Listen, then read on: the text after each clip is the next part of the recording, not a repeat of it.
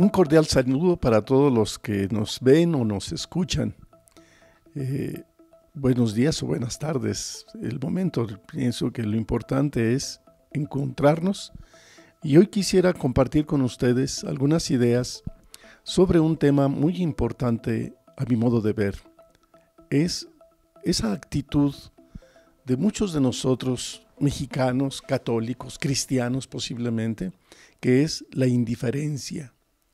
Miren, esta actitud de la indiferencia es algo que realmente nos ha hecho mucho daño, porque, por ejemplo, durante algún tiempo tuvimos el Fondo Nacional para los Desastres Naturales, el famoso Fonden.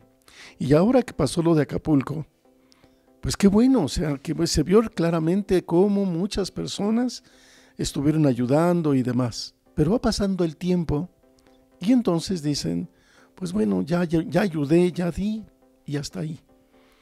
De tal manera que pareciera que ya pasó todo y eso no es verdad. Todavía se sigue la emergencia. Pero tenemos esa actitud de indiferencia, incluso desde el gobierno. El asunto es quedar bien, pero hasta ahí. Hay otras situaciones que realmente nos, eh, a mí me han preocupado bastante. Por ejemplo, cuando sucedió aquello de los que les, quitaron o les restringieron toda la ayuda de los, para los niños con cáncer. De tal manera que entonces, eh, ¿qué sucedió? Pues bueno, yo no tengo niños con cáncer, no es mi problema.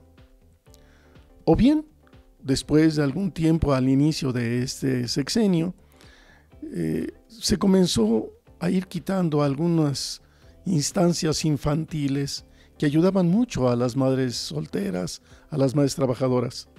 Pero como yo no soy madre soltera, como a mí no me afecta, bueno, pues a ver cómo le hacen ellas, ¿verdad? Y otra vez la, actitud de indiferencia ante estas situaciones. O bien, por ejemplo, el reclamo de muchos médicos ante la falta de medicamentos y de insumos para que ellos mismos también realicen sus actividades y atenciones médicas. Y otra vez una actitud de indiferencia. No es mi problema, yo no soy médico, pues a ver ellos cómo le hacen. Otra de las actitudes o de las eh, más bien hechos que manifiestan esta actitud de indiferencia o de apatía es por ejemplo ahora que cuando pasó lo del INE y lo del INAI, que desafortunadamente pareciera así como que desde el gobierno lo quieren desmantelar. De nueva cuenta yo veo que muchos, muchos mexicanos somos indiferentes, apáticos. No es mi problema, yo no trabajo ahí, no, pues yo qué puedo hacer, pues allá verá quién, no sé quién le toque. De tal manera que pareciera que mientras que a mí no me afecta, entonces yo me mantengo de esa forma, indiferente, apático. Y solamente cuando me toca a mí, que me, que me tocan mis intereses, es entonces cuando yo realmente me doy cuenta que necesito de ayuda. Y posiblemente cuando yo pida ayuda, nadie me la va a dar, porque los demás piensan igual que yo. Es decir, no es mi problema, a mí no me afecta, yo qué, yo qué puedo hacer. Y por eso es algo que nos hace mucho daño, la indiferencia.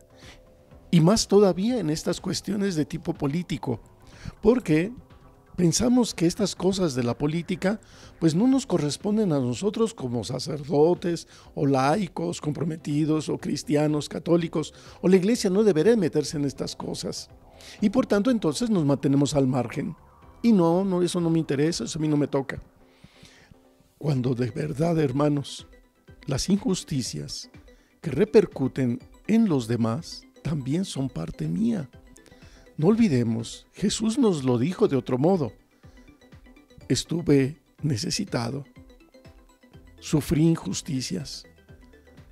No solamente el desnudo, el hambriento o demás, pero también hay gente sin trabajo, hay personas que sufren injusticias, cuántos robos y asaltos, pero como no me afecta a mí, entonces no me preocupo. Ese es el asunto. Y lo mismo sucede en las elecciones. ¿Para qué votar? A final de cuentas, siempre es lo mismo. No, pues eso qué tiene que ver entonces y nos mantenemos así.